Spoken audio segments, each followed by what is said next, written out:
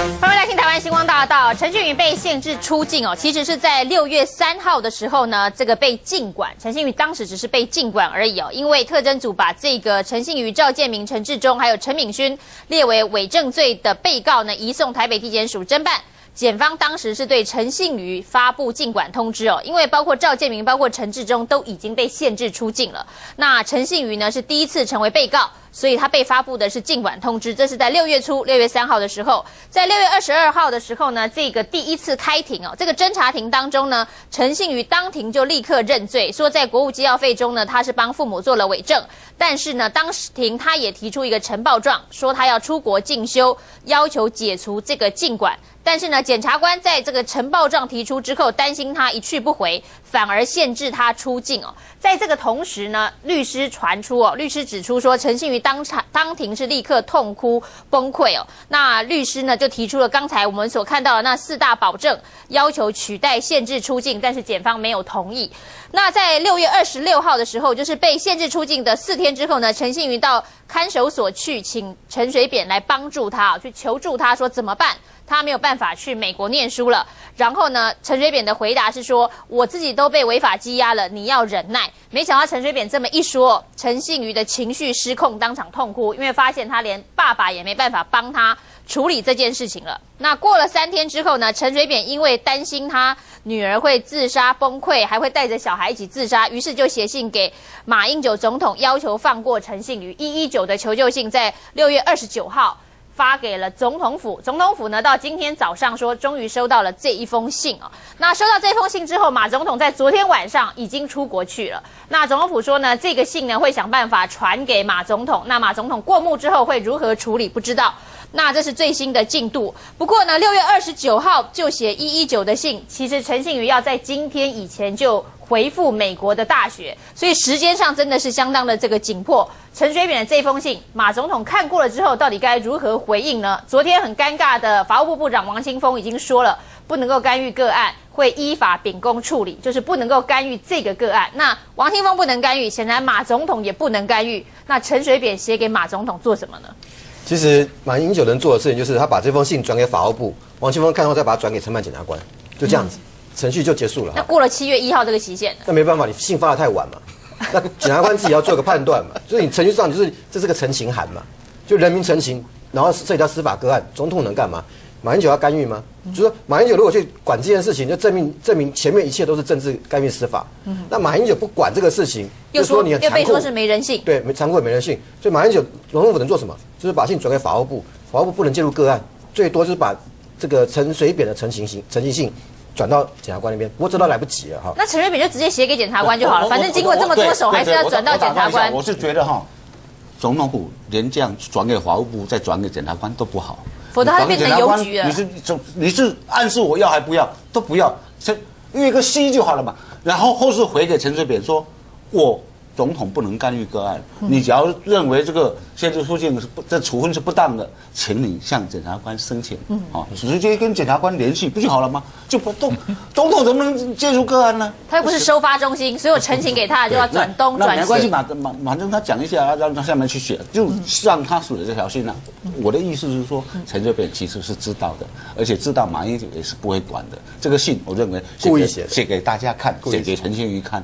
我我无能为力，我顶多尽力是这样，然后造成说我是向马为了女儿向马英九低头，引起民进党。你看马英九、陈水扁都已经低头了，你还让政治追杀？怎么样？这这在挑动情绪。陈水扁他是律师哎，他会不懂这些吗？所以这是修美不能。总统府发生过啊，有电话求救的啊。那我看法不太一样，不要转给法务部，要转给内政部。内政部，因为要当真啊，因为要当真，因为涉及到不是陈信宇跟陈水扁，涉及到三个无辜的小孩，转给生命线，哎，转给生命线，转给社会局要评估陈信瑜目前的精神状况是不是有威胁三个小孩子的可能性。你如果不当真啊，你如果真的不当真，万一真的小孩子受伤，马英九要负很大的责任，因为这个求救是给你马英九嘛，所以我把这一封求救信当做报案。因为是他亲生父亲报案的，亲生父亲报说女儿会伤害孙子，你无论如何要去做一个动作嘛。所以，因为这，我认为这一家最无辜的就这三个孩子了啊。万一三个孩子呃真的有，那他如果没有，就请陈瑜呈报一次啊，就请陈庆瑜要说明说我精神状况一切安康，我可以做医疗检查。那社会局当然就不能介入，否则你想想看，现在单方面的陈述我们都说是假的。陈旭有哪一天崩溃了，把小孩子像上次有个小小小女生把 baby 丢下来，他崩溃，他把小孩子稍微推一推受伤，这点也是社会局要处理的嘛。所以我个人觉得，至少要转给社会局啊，社会福利有关单位或者儿儿童基金会也可以了。那至少要去做一次诚信于精神状况是否自杀或伤害小孩倾向的家户拜访评估。哎，一个家户拜访，拜访完了以后，诚信于要要说明他自己目前是没有这种倾向才可以。哎，会。呃，我再等一下啊，如果现在有被限制出境了，或是有被羁押的人，这种情况。可以不可以比较陈信宇？都写信给马英九，都写信给马英九。马英九你要不给内政部啊，或是不给我放出来。我家那个老婆啊，很都有可能把我小孩哈 拿去自杀，都有可能情绪崩溃。好了，都那我觉得立比讲的也不是没有道理，那就比较办理，通通转给内政部，这这社工人员通通去家里去，通通做精神检查。有那么多社工人员吗？够吗？那为什么陈建仪要这样做？其他人你不这么做？也是不行嘛，对不对？我我导其他人写的信，蔡黄郎不会出来开记者会，我导师，所以大家都不会注意。我导师认为每一个人都都被他，这是陈水扁的推论，推论你不这么做，陈我们陈庆瑜可能会自杀啦，可能会崩溃啦，可能带小孩去去去去死了。那为了防止陈庆瑜以后有可能有可能发生这种事情，我们政府要投入很多人力去注意嘛？我认为不对的，这种事情是你这个。总要社工人员，现在社工人员介入家庭，他有家暴是不是？就都太太被打得满头伤了，或者小孩子确实被虐待了，有伤了才会介入嘛？那就假如推论他有可能发生哪一个人家庭？父母都是精神很健全的，都不会随时哈 突然火大了打小孩出去的。那社工人员怎么介入？没有那么多社工。因为因为啊，这个当然我完全同意了啊。这个整个评估，我其实这样说的意思，其实是顺着他的，顺着他，就是说你这两点你都要确认的。嗯，第一个是真的，那当然怎么处理？家人已经发现这件事情，家人就应该善尽高度注意的。对，所以所以第一个，如果是真的，那当然法律有规定怎么处理。如果是假的，我们也证明他现在又讲假话嘛。所以换句话说，你不论真假，你现在透过我刚刚所建议的方式，你都得以得以确认。以后陈水扁跟陈信瑜，你还能用小孩子说谎吗？你这两件事情，你他现在是自己家人的每一个人，他的秘书他自己写信，还居然到总统府，他也不是随便开个记者会，那你总统府就把他要加以确认嘛？你给我确认一下是真假。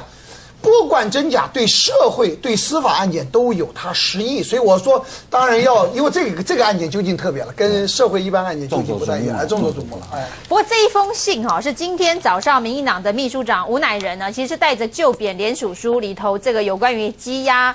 滥权的事情要去找总统府陈情的时候呢，吴乃仁跟总统府的秘书长詹春博询问说，陈水扁的信哦，到底收到了没有？詹春博才请这个收发室去注意说信到底寄到了没？那两个人在会谈的时候，信真的还没有到。那等吴乃仁回到民进党中央党部的时候呢，信到了，信终于已经到了总统府的收发室了。詹春博立刻通知吴乃仁说，现在信我们已经收到，这是这一封信。目前旅行的进度是在今天中午左右，总统府的收发室收到了。这封信到了总统府以后怎么处理？现在看，反正反应狗不在国内，那张春不要去处理啊。不过，在我们谈陈水扁的事件里面，最糟糕的一件事情就是他一直在运用政治哈，在利用人性。就我们回想一下，我们如果用设身处地的方式想一下哈，如果我们自己的家人，我们自己的家人，我们有亲友，甚至我们自己的兄弟姐妹，如果你发现其中有人，精神状况不稳定，甚至可能自杀的时候，你第一件事情会做什么？我想不会是像陈水扁一样写一封信给马英九，我一定是找我的家人去陪他。对，如果我是陈水扁，我应该是交代江志明赶快把陈志忠啦，或者是把吴吴淑珍或者或者吴清文叫上来保来，陪着这个陈信云，要先看住他才对。嗯，应该是动作上应该是先做这件事情。而不是说去写一封信给马英九，因为这这是搞政治。所以这个东西是很要求赵建明不要继续住在台南，要每天回家。赵建明也可以回，也可以回来嘛，或者把陈信云接下去嘛，哈。就说我们在看扁家的时候，就很有一个很痛苦的事情，就是说，比如说扁办的人或者民进党的少数人，会把第三代在外面所遭受到的一些平心而论是一些委屈的事情，比如说会有人冲着赵一安讲二六三零这样的事情拿出来讲，对社会讲，然后放大一副。就是说，扁家很委屈，很很不幸。可是呢，后面所有东西都是用政治的操作。你用一个小孩子真的真的一个状况，然后拿来这这个事情做放大，然后希望去做你政治上的操作，甚至希望陈水扁能够出来，让整个社会跟着陈水扁一起在那边痛苦，这是非常残忍的事情。但是你每一件事情都是有政治操作，让这个社会又没办法对你产生谅解，这才是扁家真正的问题。今天陈信宇也好，或者他的下一代为什么会那么苦？你不是怪这个社会，你必须先反求诸己。陈水扁要吴淑珍，你有没有真诚的去面对这个事情？这才是专关键。文家怎么看？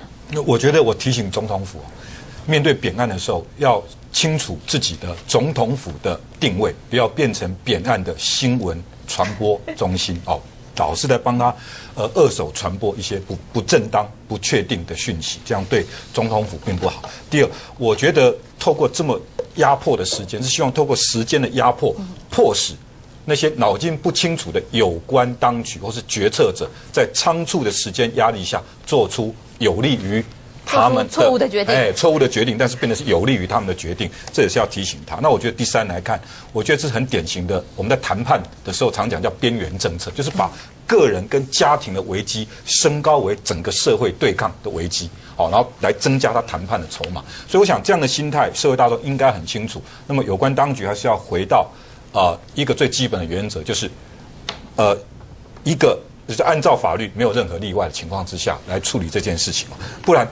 会有太多的不必要的因素介入，让整个事情会变得更复杂。那我还是要提醒，就是说，呃，陈庆瑜小姐这几天的思绪，哦，我用思绪啊，因为我觉得她有一点。连做一个妈妈最基本的一些说话的分寸失误都失掉哦。虽然是他不是他亲口说，是他的爸爸帮他转述，但是说真的，一个妈妈竟然会有那些不好的想法。说真的，在带着小孩子一起，对，我想真的是很不恰当。那我觉得这种失序，不过是想要把我们整个台湾社会硬强加上一个道德的魔咒，一个道德的紧箍咒。你看，我今天的思绪都是你们造成的。我想台湾社会不会笨到这个地步，自己去对号入座，把那个道德魔咒加在自己头上。我们插播最新的讯息哦，有关于这个陈信瑜、陈志忠涉嫌伪证罪的这个部分哦，吴淑珍在昨天的法庭上面公开承认呢，是他要这两个小孩配合做伪证的，而且发票也是他叫他们去搜集的。所以呢，针对吴淑珍的教唆伪证罪的部分呢，北检今天呢再度正式的分案。还是由这个侦办陈信宇伪证罪的检察官林汉强来承办哦。预计本周可能会就会传唤吴淑珍到庭说明，这是最新的讯息。我们先进广告。